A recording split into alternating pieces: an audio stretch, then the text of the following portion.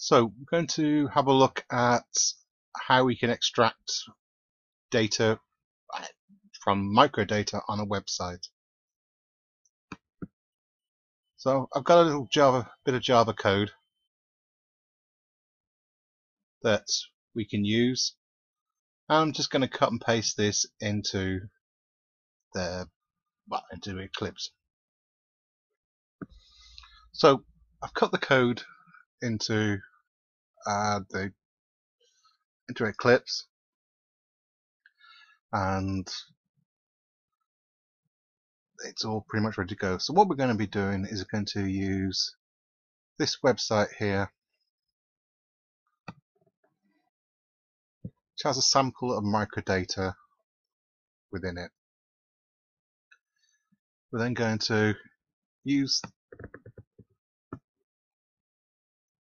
take that in line by line, remove the spaces, the speech marks, sorry,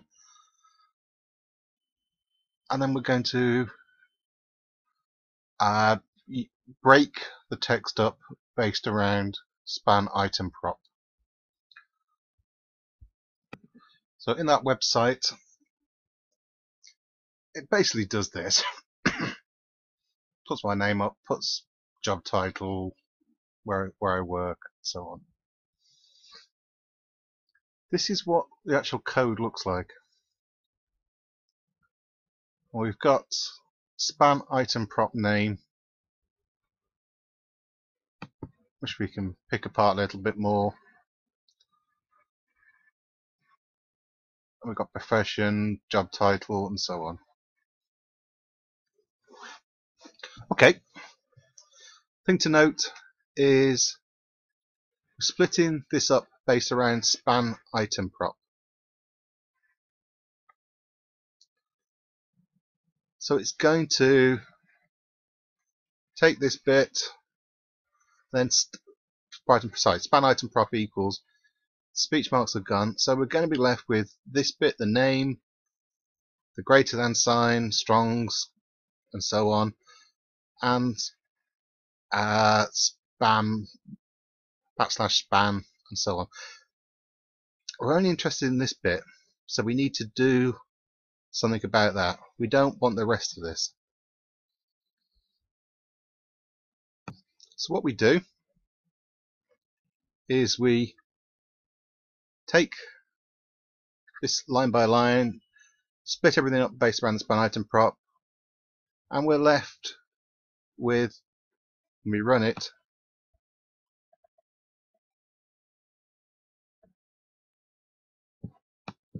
Things like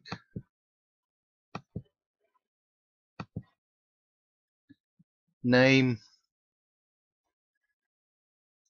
and greater than sign, all this rubbish, then uh, span we need to we want to get rid of this we want to get rid of this ideally want to get rid of this as well. So this is just a string. So what we do is we say well I want to remove these.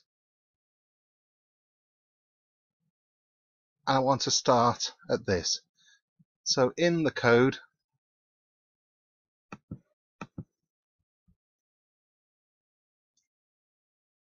I want to start at this one, go all the way up to here. I don't want to take this, include it in when it's printed out, so I'm going to get rid of this, which means I have to take it back the whole length of this string minus about 16 characters to get back to here. And we can do the same with job title. This time we just need to remove these first few here.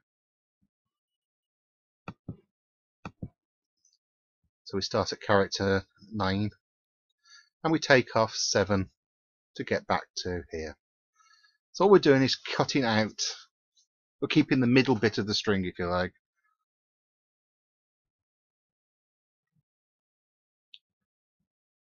And we can keep doing this for whatever we want to extract so works for address postal code, and so on.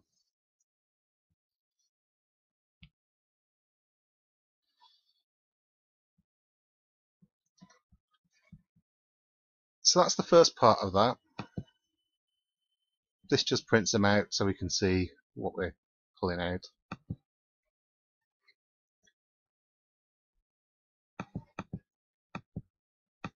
Excuse me. The next stage is we want to turn it into an XML just because I want to do process it. It's just an example of processing it. I want to take what we've got, extract it and make an XML document out of it. So that's what I'm doing here. I've created